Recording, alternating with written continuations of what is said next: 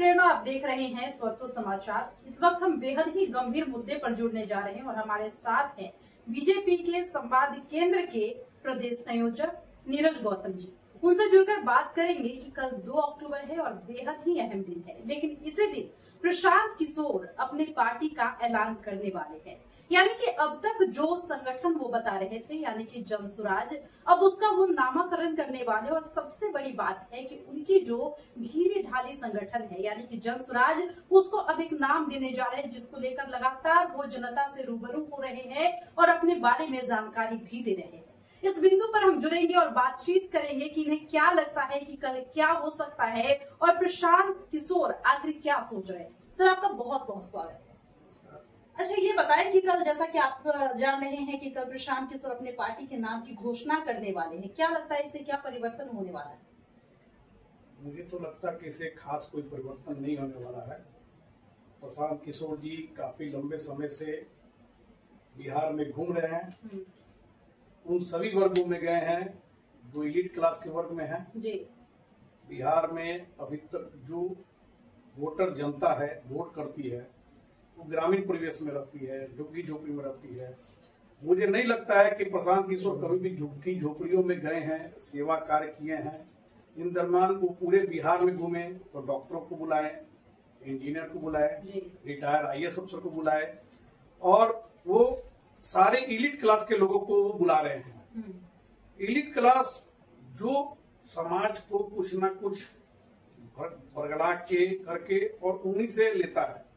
बिहार की चौदह करोड़ जनता, जिसमें से 60 परसेंट जनता आज भी गाँव में बसती है और गरीब जनता है। आज मुझे नहीं लगता कि प्रशांत किशोर करीबन डेढ़ साल से किसी भी गरीब बस्ती में गया हूँ झुग्गी झोपड़ी में गया हूँ। वहाँ कैंपेनिंग की हूँ। महलों में जाना, बड़े घरों में रहना, पैसे वालों के यहाँ रुकना, वहाँ बड़े बड़े कामों करना और एक माहौल खड़ा करना। मुझे नहीं लगता दो अक्टूबर को उन्होंने गांधी जयंती के अवसर पर घोषणा तो की है। और हमको जो लगता है कि अब कल क्या करेंगे, वो कल के बाद ही पता चलेगा, उसकी समीक्षा कर सकते हैं। आप कह रहे हैं जिस तरीके से, लेकिन आपने सुना होगा या देखा होगा, अक्सर वो यही बोलते हैं कि मैं गाँव में जाता हूँ, ऐसे जगहों पर जाता हूँ, जहाँ वास्तव में लोगों को ज़रूरत है आगे बढ़ने की, शिक्षा की, रोज़गार की, नौकरी की, इन तमाम मुद्दों पर वो बात करते हुए दिखाई देते फिर आप कैसे कह सकते हैं की वो जनता के बीच नहीं जाते नहीं वो भ्रमण किए। बीच में साल भर पहले उन्होंने पदयात्रा निकाली थी। जी।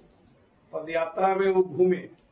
घूमने के साथ मन कितना जनसमूह उनके साथ जुड़ा ये भी देखने वाली बात है। घूमना एक विषय अलग था मगर उनके साथ जुड़ने वाले लोग कौन है? आज के डेट में उनके जुड़ने वाले आई एस अफसर ही उनके साथ है। उस दिन पहले वो मुसलमानों के जुड़ने की बात कर रहे थे और एक सभा में गए। तो वहीं उस समाज के लोग विरोध कर दिए। तो अभी सर्व समाज को लेकर चलने के लिए अभी बहुत ही मेहनत करना पड़ता है। ठीक है? वो अपनी बात कर रहे हैं। बिहार में कम से कम सौ दल हैं। वैसे एक दल उन, उनका भी अपना रहेगा अपनी बातें रखेंगे काम करेंगे। अच्छा बात अगर आइडियोलॉजी की करते हैं तो क्या लगता है कि प्रशांत किशोर की आइडियोलॉजी क्या हो सकती है जिससे हर कोई का कोई ना कोई एक विचारधारा होता है? उनकी विचारधारा क्या होगी? प्रशांत किशोर जी की विचारधारा तो अपनी वो घोषणा कुछ बताए नहीं कहे भी नहीं। दो तारीख को वो जो अपना गांधी जयंती के ऊपर पार्टी की घोषणा करने जा रहे हैं अब उनकी आइडियोलॉजी के बारे में तो मैं बहुत नहीं बता सकता हूँ मगर देश में दो बड़ी पार्टियाँ हैं जो अपना आइडियोलॉजी की विचारधारा के हिसाब से काम कर रही हैं।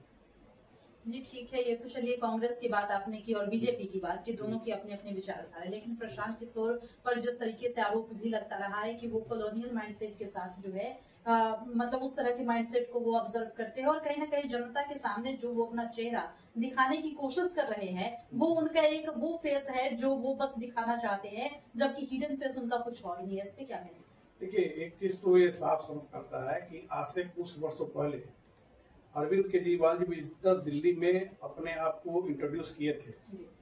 मगर उनके पर उनको इंट्रोड्यूस करने के लिए अन्ना हजारे के आंदोलन से वो निकले थे। हम्म। अन्ना हजारे का जीवन बहुत ही साफ़ चरित्र का रहा इससे लोग उनके पीछे खड़े हुए। और अन्ना हजारे को ठगने के बाद अरविंद केजरीवाल ने इतना बड़ा अपना संगठन खड़ा किया। और मुझे लगता है कि देश में ऐसे छोटे छोटे संगठनों के पीछे कहीं ना कहीं कम्युनिस्ट विचारधारा के लोग लगे हुए हैं और छोटे छोटे टुकड़ों में उसको लग के और हर स्टेट में अपना फैलाव कर रहे हैं। तो प्रशांत किशोर के बारे में क्या कहिएगा? किस विचारधारा से? हमको तो जो लगता है कि बातें बड़ी बड़ी करना और काम करना उनके पीछे भी कहीं ना कहीं उनकी विचारधारा के पीछे कम्युनिस्ट विचारधारा ही सेट कर रही है। अच्छा। क्योंकि उनके साथ जो इलीट क्लास के लोग जुड़े हुए हैं पैसे वाले जो जुड़े हुए हैं जो ब्यूरोक्रेट्स जुड़े हुए हैं, वो उनको बता रहे हैं, उस वर्ग में जाना, उस वर्ग में लोगों को पैसे के माध्यम से, मैंने कार्यकर्ता को रखना, वोटरों को परचेज करना, ये सब जो उनका चल रहा है, ये एक आम आदमी पार्टी जैसे अपने वॉलेंटियर को रख के और सैलरी पे बेस काम करके और, लोगों का एक माहौल बनाने का काम किया।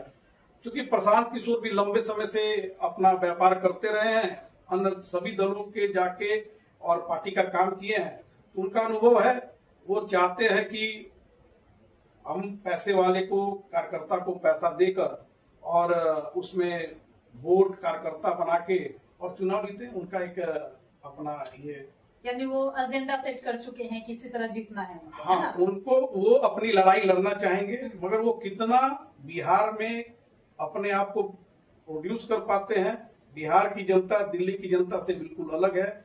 बिहार के लोग सच्चे मन से और विचारधारा के साथ जुड़ने वाले हैं। ये मुझे लगता है कि प्रशांत किशोर अपना प्रयास कर रहे हैं। वो प्रयास में सफल नहीं हो पाएँगे। सब लोग अपनी बात, विचारधारा को अपने बातों को रखता है। उसमें भी एक प्रशांत किशोर एक और पार्टी की तरह साबित होंगे।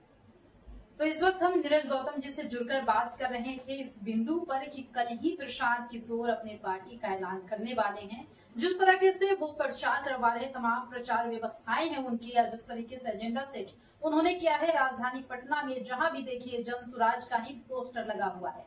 लेकिन सबसे अहम बात जो इन्होंने कही है कि वो अपने मंसूबों में कामयाब नहीं होंगे, क्योंकि उनके पास ना ही कोई विचारधारा है और ना ही उनके संगठन में वो मजबूती है जो उनको उस मुकाम पर लेकर जाएगी, जिसका वो सपना देख रहे हैं। अब तो ये कल ही पता चल पाएगा। हालाँकि आने वाले वक्त में क्या होगा, ये भी देखने वाली बात होगी।